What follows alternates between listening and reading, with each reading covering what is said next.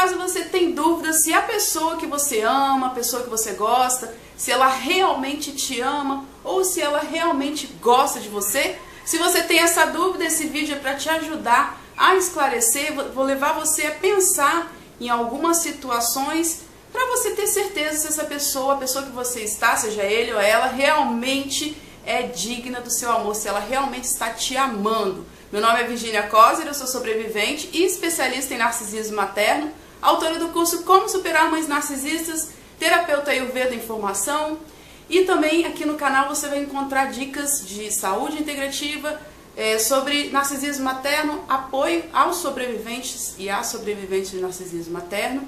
E elas me pediram esse vídeo, talvez você não é sobrevivente, mas esse vídeo também vai te ajudar. Quando a gente é sobrevivente de narcisismo materno, a gente cresce meio sem bordas, né? O que seriam essas bordas? As pessoas abusam literalmente da gente e a gente não tem noção, porque na infância fomos abusados de tal forma pelas nossas mães que o nosso, a nossa mente, a nossa percepção do que pode e o que não pode ser feito contra a gente é distorcida.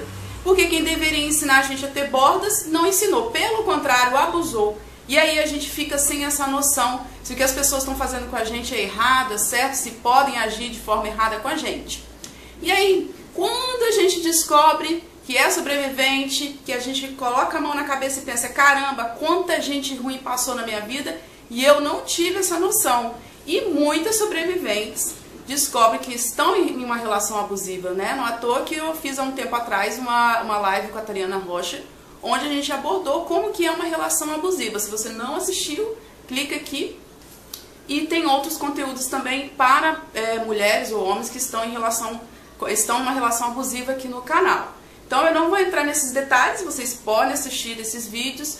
A minha intenção mesmo é de fazer levar você a pensar se, se essa pessoa que está com você, ela realmente te ama, porque existem sobreviventes, vários relatos aí que eu já vi, que ah, essas, essas sobreviventes são pegas mesmo, meio que como bode mesmo. Como somos sem bordas, né, ou éramos, quem não passou ainda pelo processo de cura, de sobrevivência, de reconstrução, aí fica ainda sem bordas. E talvez casou antes mesmo de descobrir, ou eh, estava numa relação namorando, antes de descobrir. E quando descobre, vê que não é uma pessoa bacana, ou apenas te usou para casar, de repente é um homossexual, porque tem relatos assim, tem é, mulheres sobreviventes que casaram e depois de muitos anos de casadas descobriram que o marido é gay, ele é homossexual e elas apenas foram usadas, né?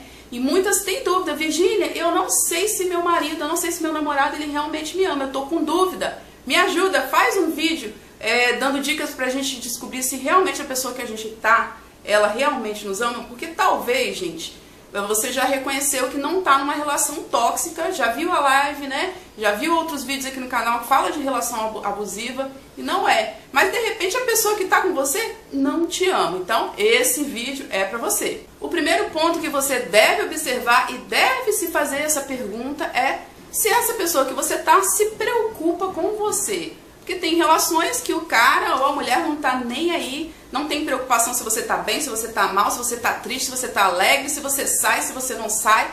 Não tá nem aí pra você.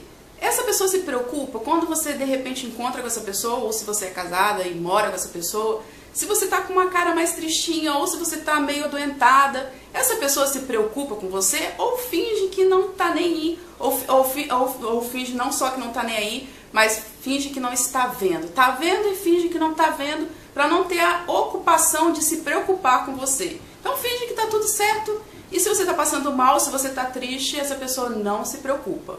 Será que essa pessoa se preocupa com você? Responde aí, caneta e papel na mão e vá respondendo aí essas perguntas. Parece bobeira essa, essa questão que eu vou abordar para você, mas essa pessoa anda de mãos dadas com você? Nossa, Virgínia, mas o que, que, tem a ver de mão dada? Tem muito a ver, gente, tem muito a ver. Você vai, de repente vai pensar, ah, mas eu vejo idosos, né? Eu já sou idosa, já não ando mais de mão dada. Deveria andar, porque é muito lindo quando a gente vê um casal de idosos andando de, mão da, de mãos dadas. Essa pessoa te dá a mão, é, às vezes, né, você tá só na, na, na fase de ficar, de conhecer, e aí tudo bem, né? Não tá ainda, não tem uma relação séria, né, não assumiu um compromisso de verdade, aí tudo bem. Mas se você já tem um compromisso com essa pessoa, essa pessoa não anda de mão dada, você fica esperta, fica, fica ligada porque tem alguma coisa errada. Ou essa pessoa não quer é, sair de mão dada com você porque tem vergonha de você, ou porque ela não tá nem aí se tá de mão dada ou não, ou simplesmente porque tá com receio de encontrar um esqueminha por aí no meio do caminho. Então você observa, veja se isso aconteceu com você, aconteceu com a minha filha, eu tenho uma filha de 18 anos, e ela já estava iniciando um compromisso com esse rapaz. E aí, quando eles saíram a primeira vez, já de compromisso sério, foram tomar um açaí, e aí na hora de sair, ele não deu a mão para ela. E aí ela, opa, pera lá, tem alguma coisa errada. Logo, botou, como eu disse aqui, botou para correr, né? Não quis continuar a relação porque achou muito estranho ele não dar de mão dadas, de mãos dadas. Por quê? Tinha um esqueminha aí que não podia haver relação depois que ela descobriu. Então, Anota aí, essa pessoa te dá a mão quando sai na rua? Seu marido, seu parceiro demonstra que te ama ou só diz com palavras? Porque falar é muito fácil, né? Não para todos, que tem umas pessoas, seja homem, seja mulher, que tem dificuldade até de falar que ama. Mas essa pessoa está demonstrando com atitudes que realmente te ama, porque não basta só palavras. Palavras, como diz aí o ditado, né, o vento carrega. Tem que demonstrar que te ama com todas essas atitudes que eu vou falar aqui para você, que já falei algumas e vou continuar falando. Essa pessoa não pode somente falar, ela tem que provar que ela realmente te ama, porque palavras se perdem aí com vento. Seu namorado ou seu marido gosta de estar com você por perto, ou ele dá desculpas para não estar perto de você. Por exemplo, se você está namorando e aí você quer sair, quer se encontrar com essa pessoa, essa pessoa sempre tem uma desculpa para dar, nunca sobra tempo para você ou se você está casado e de repente quer passar um tempo maior aí com, a, com o seu marido, ou, ou, sei lá, com o seu parceiro, a pessoa que você mora junto, e aí você quer ter um tempo a sós, ou quer, sei lá, sair dessa rotina de só trabalhar e pagar boleto, né? E essa pessoa dá desculpa, esse cara, esse namorado, seja lá quem fosse o marido, fica dando desculpa e nunca tem um momento só com você. Observa porque também tem algo errado. Essa pessoa tem que querer gostar de estar perto, estar com você. Porque quando a gente ama, a gente quer estar perto de quem a gente ama, a gente quer curtir cada momento. Ah, Virginia, eu tô casada há muito tempo, né? Já entrou na rotina. Aí a gente pode até considerar, mas também não é para ficar o tempo todo dando desculpa para não estar perto de você também não. Então você tem que observar se essa pessoa seu marido ou sua esposa, essa esposa, se está dando muita desculpa para não te encontrar porque tem algo errado. Essa pessoa tem aquele ciúmezinho básico de cuidado, não estou falando daquele ciúmes possessivo, que muitas sobreviventes acabam entrando numa relação onde ocorre esse ciúmes excessivo, doentio, e aí acaba sendo mais uma vítima de feminicídio. Não é esse que eu estou falando, não. Aqueles ciúminhos de, de cuidado, de opa, quem é essa pessoa, né? Quem, com, quem, com quem você estava conversando, pequenas perguntas sutis que demonstram cuidado, carinho, zelo e um ciúminho de leve. Essa pessoa tem esse ciúminho ou tanto faz, essa pessoa não está nem aí do que você está fazendo, com quem você está andando, com quem você está conversando. Esse parceiro seu abre mão de alguma coisa que ele gosta muito só para ficar com você ou só por você. De repente você está querendo algo muito bacana comprar algo muito bacana para você, algo que você queria muito, e aí de repente você juntou grana, ele está juntando grana para comprar para comprar algo que ele quer muito.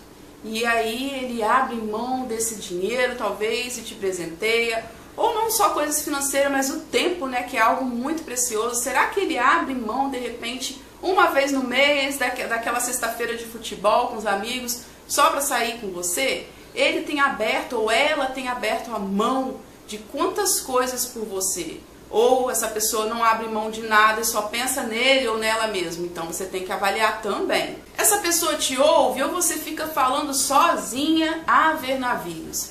Essa pessoa se comunica com você, como anda essa comunicação entre vocês? Ou você fala, fala, fala, só ele, ele de repente, ou ela só fica de repente no celular, ou em frente à televisão, e você fala alguma coisa fala, aham, é, é, é isso mesmo, sim, é, é verdade. Só palavras curtas com você, não te dando a atenção necessária. Você já observou isso? Se esse parceiro, essa parceira, esse marido, marida, marida, não, esposa ou namorado, namorada, se só fala com você com poucas palavras, quando fala, será que realmente essa pessoa está te dando a atenção que você merece? A mesma atenção que você dá a ela ou a ele? Essa pessoa costuma discutir a relação, te procura quando vê que algo está errado e fala, amor, vamos conversar, vem cá, senta aqui, eu quero falar com você. Ou não, nunca procura discutir a relação. Se for homem, isso é bem mais comum. Mas e aí, de repente, você quer acertar algo que não tá legal e fala, vamos discutir a relação, e aí essa pessoa fica igual uma estátua, igual uma múmia e não abre a boca para falar nada. Você novamente está falando sozinha com a parede. Tem algo errado. Uma pessoa que está afim de continuar nessa relação, que te ama, que te quer bem, vai querer conversar e acertar coisas que precisam ser acertadas. Se fica tanto faz como fez, é porque tem algo muito errado, você também precisa observar. Essa pessoa demonstra que tem medo de te perder, ou também é tanto faz. Tanto faz como fez, né? Mostra tanta segurança, confia tanto no, no seu próprio taco, que não tem, não demonstra nem isso aqui, nem um pouquinho de medo de te perder, uma insegurança de te perder. Talvez não demonstre, essa pessoa não vai demonstrar com palavras, mas vai demonstrar com atitudes, como se preocupando com você, com o receio de como você está, se você está satisfeita com a relação, se você não está satisfeita. Quando essa pessoa se preocupa em te perder, ela vai se preocupar com a relação.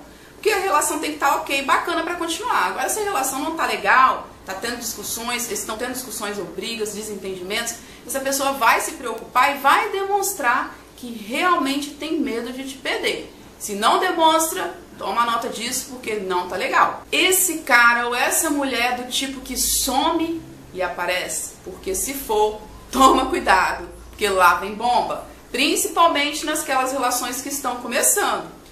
Tem gente, principalmente narcisistas, que fazem muito esse jogo, jogam dessa forma, sumindo e aparecendo para te deixar maluca, para te deixar apaixonada e maluca ele vai dizer que está muito compromissado com o trabalho, ou ela vai sumir e aparecer, quando na verdade essa pessoa não está nem aí para você, só está jogando para você cair na isca.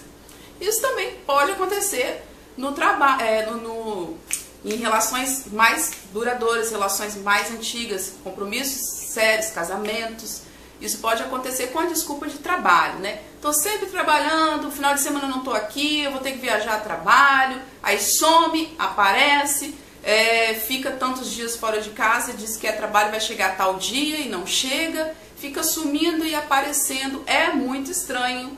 Fica ligado que pode ter mais alguém aí nessa relação sem ser você. Agora, quando ele diz que você está errada, sendo que você não está errada, para te culpar e depois faz o tratamento de silêncio, que é uma das técnicas de agressividade passiva. Se você não sabe o que, que é, clica aqui que eu explico toma cuidado que você pode estar com um ser narcisista e essa pessoa não gosta de você porque narcisistas não possuem a capacidade de amar. Então fica atenta. Esse joguinho já é conhecido entre as sobreviventes que já conhecem há um tempo o narcisismo. Ele coloca a culpa em você para você se sentir culpada, pedir desculpa por algo que você não fez, de repente é ele que agiu errado. Talvez você descobriu indícios de uma traição e aí você fala, eu descobri isso, isso e isso. Ah, você é muito ciumenta, você é muito insegura, você tá errada, você tá me sufocando. Desse jeito não dá pra gente ser feliz, porque você me sufoca, você não confia em mim. Como você quer que a nossa relação dê certo se você não confia em mim? Sendo que os indícios eram verdadeiros. E aí você se sente culpada e ele vai jogar esse jogo, vai fazer tratamento de silêncio, que é boca de siri, para você se sentir culpada. Não vai falar com você você vai estar de repente no mesmo ambiente, morando na mesma casa ou sendo namorado, essa pessoa não vai te procurar pelo WhatsApp, não vai ligar, vai sumir, desaparecer por um tempo para você se sentir culpada. Cuidado que você pode estar em uma relação com um ser narcisista. Então anotou tudo. Se não anotou, anote com calma e avalie, se, se reavalie essa relação, se realmente essa pessoa que está com você vale a pena se ela realmente te ama, porque você é muito importante, você não é qualquer uma pessoa não, você é especial. E você merece sim ser amada de verdade, merece respeito, merece atenção, merece carinho e merece afeto. Se você está dando tudo isso e não está recebendo em troca, é hora de repensar a sua relação. Se você gostou desse vídeo, compartilhe com seus amigos e com suas amigas, envia para alguém que você acha que precisa de ouvir esta mensagem e a gente se encontra no próximo vídeo. Um beijo e tchau, tchau!